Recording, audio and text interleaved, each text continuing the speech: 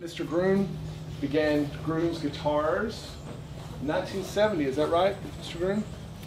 And uh, has been just a mainstay, a staple of the music industry, uh, not only in Nashville, but worldwide since then. Uh, Mr. Gruhn's, you know, it's very rare that you can say that someone is a worldwide foremost expert on a subject matter, but these two guys here today, we can, we can say that. And uh, it's pretty, pretty neat to have them with us today. Uh, Mr. Gruhn is an expert on all kinds of well, all kinds of subjects, but especially when it comes to vintage instruments, the history, um, the trends, and where it's going from here. And we're going to talk about all that today. Uh, Mr. Spann literally wrote the book on pre-war Gibson banjos. There's Study Guide to Gibson. Did you bring any books with you today, Joe? No, you know, I never had any. They didn't give me any for some reason. But they sent me a check two times. Okay. So- well, you can find it on Amazon. You can find it on all kinds of uh, vendors out there. So I encourage you to check out Spann's Guide to Gibson, um, which is referenced by Gibson to learn about their own selves. They go to Mr. Spann to learn about their own history. Um, anyway, without further ado, I would like to introduce Mr. George Gruhn. Good morning.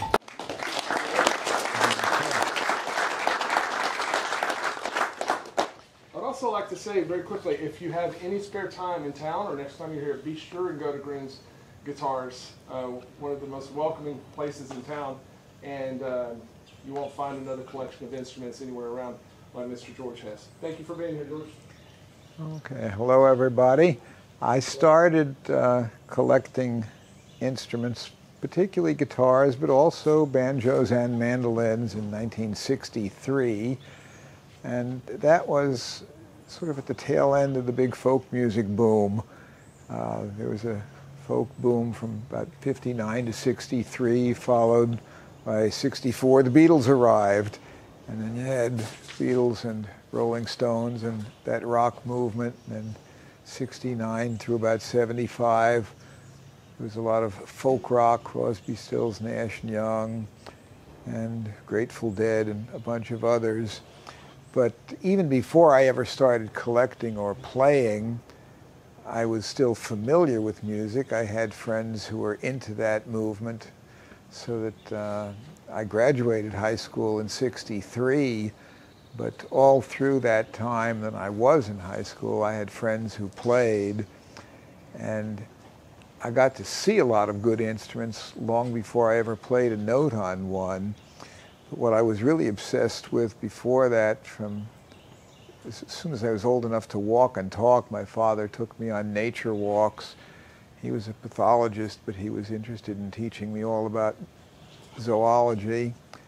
And uh, I was out with him collecting insects by the time I was four, getting frogs and turtles when I was about six. Caught my first snake when I was eight, and I've had snakes ever since. I've got about 20 snakes in my office right now. My Cuban babe, boas have a, a litter.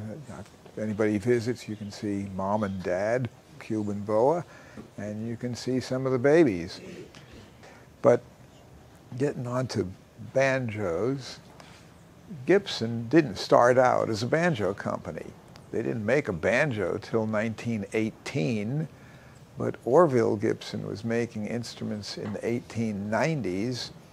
And in 1902, and Joe will go into some more detail on that, uh, Lewis Williams, a, a Kalamazoo businessman, and some of his associates got together and decided that they could get Orville to design instruments and they could buy the rights to his patent design. And they hired him. Uh, he didn't turn out to be a very good employee. A lot of uh, luthiers are temperamental artists and not well suited to the kind of work that one would punch a time clock for. And Orville was uh, one such type, but Orville had designed carved top, carved back mandolins and guitars, which was something quite revolutionary at that time. And so they started the company in 02, and it was quickly very successful for mandolins. But the mandolin orchestra boom got to be really big. It was actually started with a group called the Spanish Students that came over, and they were playing mandolin-sized instruments, but they were Span Spanish bandurrias. They really weren't mandolins at all. But it initiated a mandolin boom in the U.S. Instead of buying bandurrias, everybody wanted mandolins. And mandolin is tuned like a violin, and Gibson came up later then, shortly after the opening of the company, they, the so-called tenor mandola, which was tuned like a viola. The Italians hadn't made viola, uh, the viola tuning mandolas. They had made octave mandolins, and they made piccolo mandolins, and they, but they didn't actually make instruments that were tuned like the Gibson mandolin family with mandolin, mandola, mandocello, and mando bass. But the mandolin market after World War I virtually collapsed. That's something Gibson hadn't counted on. And Dixieland music became popular. And that utilized tenor banjos. Didn't utilize five strings like most of us here today want to play the five-string banjo was really popular starting as far back as in the 1840s, but they were basically an instrument of originally African origin, and it went from a gourd with a tacked-on head to a round rim with a tacked-on head to a round rim with brackets and a tension hoop that you could tighten the head, but uh, they were played with gut strings. And prior to about 1880, almost all of them were fretless. Gibson was not really trying to capitalize on the five-string banjo movement because that so-called classical era banjo movement that had banjo orchestras with piccolo banjo, banjarines, standard banjos, alto banjo, and even bass banjo all in five string was a movement that really was very popular from the 1880s. Before 1880s, it was more minstrel music. But from at least the 1880s through about 1905, five-string banjo was indeed popular, but it was for classic style banjo. You can hear some good recordings of that. Uh, even YouTube and uh, other sources. Uh, Fred Van Eps, the father of the jazz player George Van Eps, was a phenomenal player and played fingerpicking style every bit as complex as anything Earl Scruggs ever did. But it was on gut strings and it wasn't bluegrass. It wasn't country, but it was still five-string banjo. But Gibson, when they started banjos in 1918, were responding to the rise of Dixieland. And also they were responding to the falling sales of mandolins and the fact that archtop guitars, which Gibson never called archtop, that term doesn't seem to show up in any literature, till about 1931, but it doesn't show up in any pre-war Gibson catalogs. They don't call them arch-top guitars. It's a carved top to them, or a graduated top. But arch-top is a term we use today, and it does show up in some literature as early as the early 30s, but not when it was first introduced by Orville or in the early Gibson days. But at any rate, Gibson needed something because guitar sales for Gibson were low. Most people who wanted a guitar still wanted a flat top guitar, and orchestral rhythm was not a big deal for guitar in the 1920s. It was a huge deal in the 1930s, starting with the crooners, players like Eddie Lang, who's sometimes considered the father of the archtop guitar, but if it hadn't been for the rise of Dixieland, Gibson would not have gotten into banjo because basically clawhammer players and early country music players typically had one thing in common. They had no money. And Gibson instruments were not cheap. uh, a Gibson L5 guitar in 1924. Their top of the line model was $275 and $25.50 for the case. So $300.50 with a case. In 1924, a Model T car from Ford was 265 and you didn't need a case. So if you think that Maybelle started out uh, with the Carter family in uh, the Bristol sessions on an L5, you'd be wrong. She had a Stella that cost about $5. She didn't get the L5 until they got their royalty checks, whereupon they went out and they bought the most expensive guitar in the Gibson catalog. And I doubt she'd ever even seen one before getting it because they would have had to order it because I can't imagine that the store in Kingsport just carried that as a standard stock item. At any rate, when Gibson started out making banjos in 1918, their designs were nothing resembling a master tone, certainly not heavily influenced by five string. They made mandolin banjos, tenor banjos, plectrum banjos, but mostly tenor and a few five strings. And they also had some strange designs. They had a uh, rim design that they licensed from Kraske that was actually a hollow rim that uh, I don't have a sample of that, but it's a, a design that they quickly abandoned. But they did come out uh, by the early, or actually by about 1922, with the so-called trapdoor resonator. This is a 1924 original five-string RB3. Now, most of you folks, when you think of an RB3, you're not thinking of something that looks like this. But this is fully original, except, well, it has a new bridge, and it has a plastic head, and it's got new strings. But otherwise, it's original in mm. every respect. Original finish, original tuners, into the trapdoor tone ring, or uh, excuse me, resonator.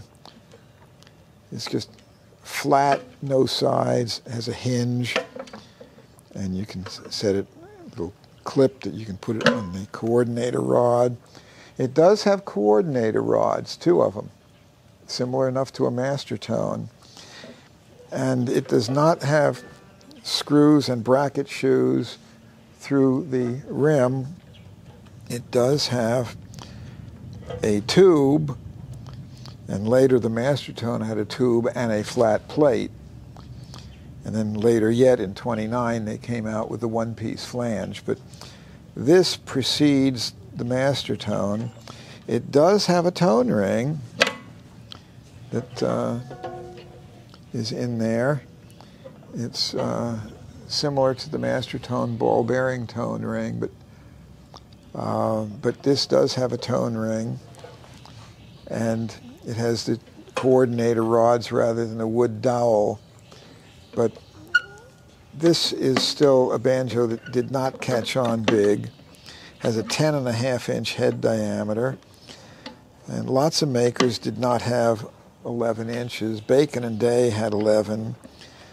Vega made a whole bunch of different sizes. They had uh, 10 and 3 quarters, 10 and 15 sixteenths, 11 and a half, and 11 and 13 sixteenths, but with hide heads, they didn't worry too much about standardization of head sizes.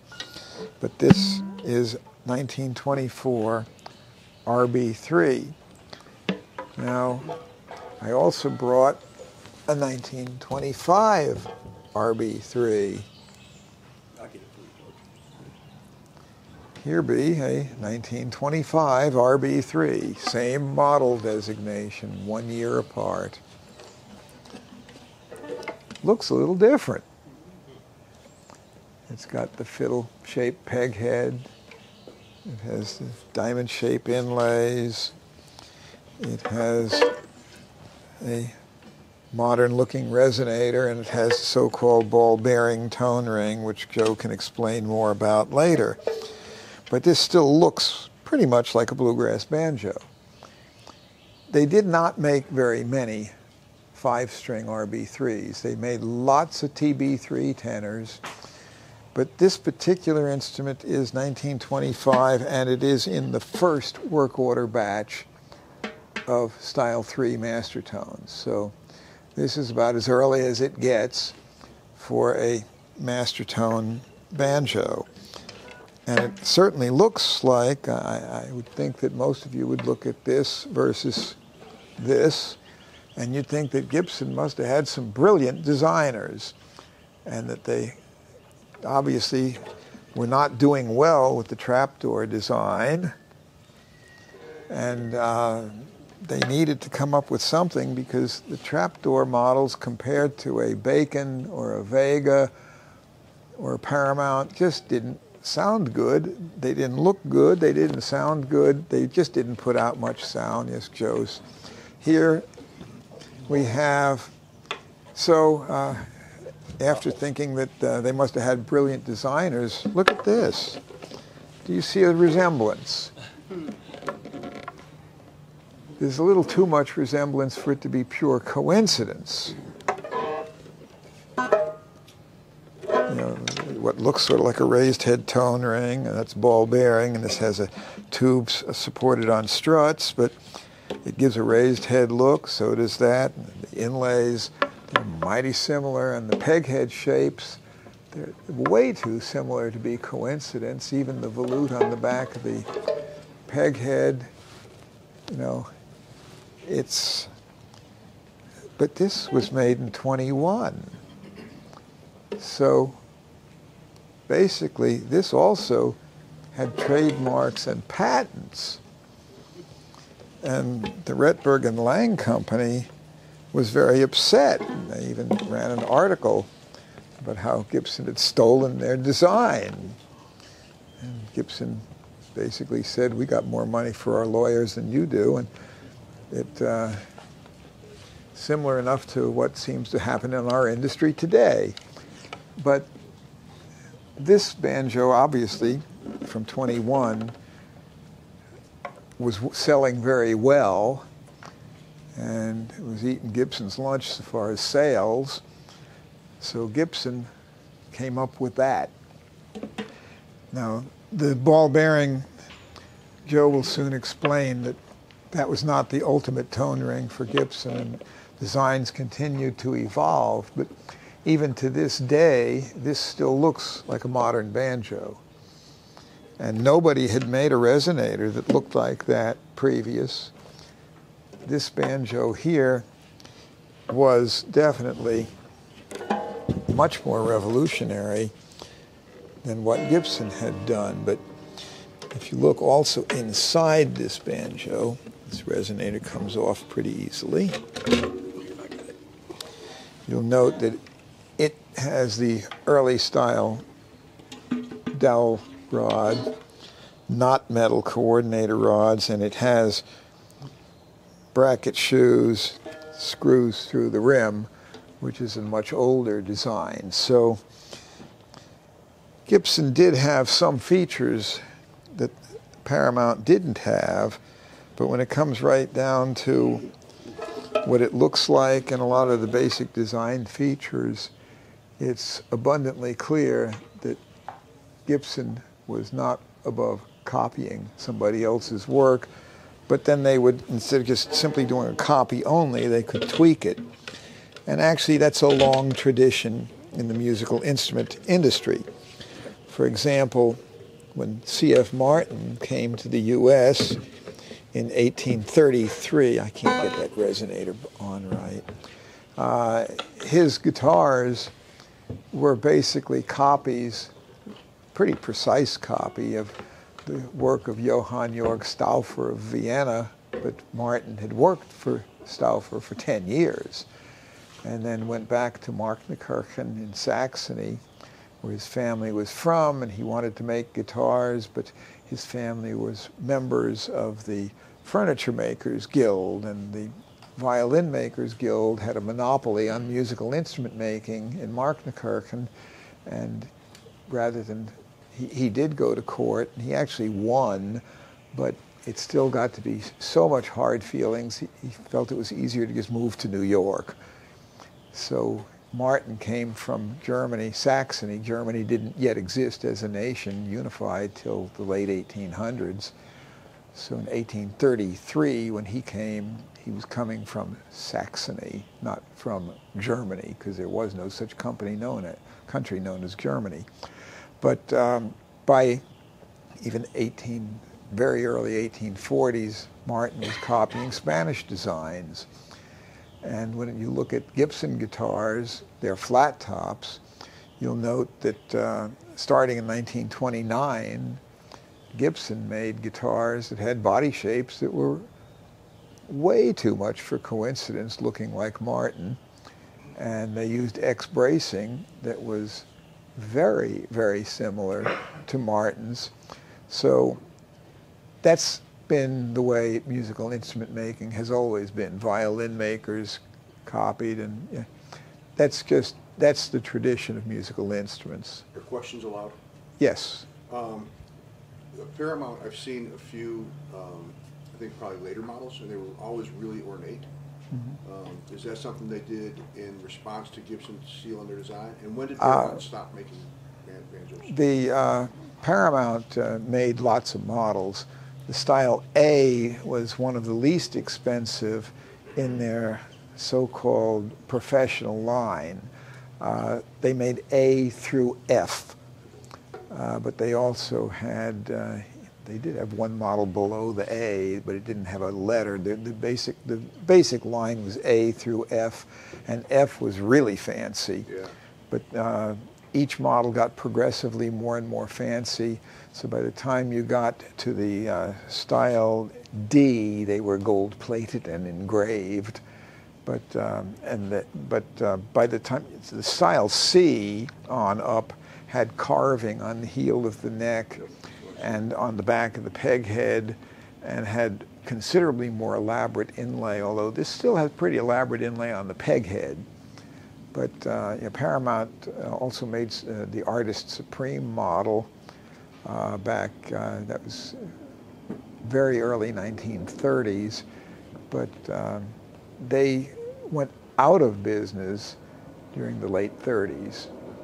And uh, the tenor banjo craze pretty well ended at very close to 1930. So Gibson, by the time Gibson came out with the flathead banjo that we think is so great, which they did not design with bluegrass in mind, bluegrass didn't exist yet, and the number of country music players who could afford a master tone like a Granada was very, very limited. But basically, Gibson came out with the F5 mandolin just in time for the mandolin boom to be completely over and dead. And uh, people might as they had the best mandolin ever, but it wouldn't kickstart sales. You might as well have the best buggy whip in the world after the invention of the automobile. They didn't. The F5 was of no interest to anybody until bluegrass came along. It was too late for classical, and it was almost 20 years too early for bluegrass. That was the Loar model? Right. Yeah, the, the Loar signed F5s made from 22 through the end of 24 uh, were over 20 years early for bluegrass because bluegrass didn't exist before 1945. It waited for me. I arrived in August of 45 and so did bluegrass. Very important. I'm, I'm so important several years ago for my birthday, everybody was looking up at the sky in total awe. You know, 40 mile wide band across the country, everybody's looking up at the sky for my birthday.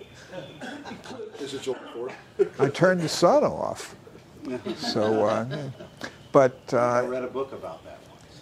yeah, well, I, I, I'm very, I'm very powerful in a lot of ways. But um, at, at any rate, that gets far enough that I'd like to introduce Joe, and Joe and I can trade comments back and forth. So, and um, I'm perfectly happy to take questions almost anytime. Does anybody else have a question for me before I turn it over to Joe? Over here. Uh, this is kind of a really silly question, but you were talking about the, the banjo being like what, two seventy. How does that equate in dollars now? Have you ever figured that out? Like, is it a couple of thousand? Oh. Well, no, it's a whole lot more than a couple thousand. Um, if you if you use the government statistics, which I don't, um, then you'd multiply by at least about 30 to 35.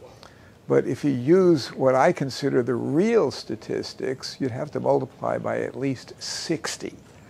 Uh, get out an old Sears catalog from that same time, or a Ward catalog, and look at what things that you are familiar with cost back then. And you'll notice typically it's about 60 times. Uh, or you can look at uh, in the 1930s, a D28 Martin was $100 and a D45 was 200 and the dealer cost was half that. And Martin sold some of those things through distributors, like when Gene Autry got his D45 custom guitar in 1933, the very first one, it was ordered through CMI, Chicago Musical Instrument Company, which in 44 actually bought Gibson. But uh, the point is, they were a distributor, and Martin sold some instruments through them. And the invoice that Martin sent to CMI for that guitar was $80. And they had to make money on that. And in 44, Gibson was sold to, uh, to CMI, Chicago Musical Instrument Company, which had been around longer, but they bought Gibson in 44.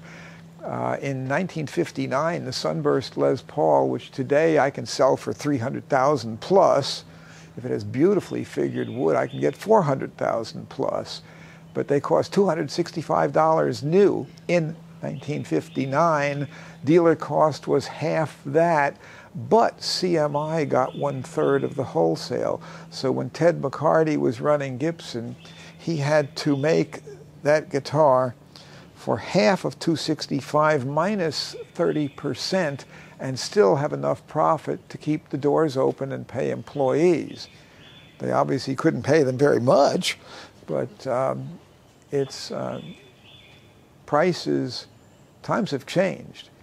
Even uh, I opened up my store in January of 70, and it was considered a good wage if I paid my repairmen $3 an hour um, wouldn't seem so good now. Uh, but I was also selling things like you know, Loar F5 mandolins were in 70, around $1,750. Uh, 1959 ES335 Gibson today would bring 50 to 60,000, 400 bucks. And banjos were not as expensive as today. So it's, um, but basic rule of thumb is take prices of the 1920s through the 30s because during the 30s prices didn't go up. The, the depression had hit and prices were, they didn't go up at all. In fact, the Style 3 Mastertone was originally $115. And then during the Depression, it went down to $100. And then later, during the Depression, they basically discontinued the Style 3 and they made something that looked mighty similar, the, RB, the Style 75, and it was $75.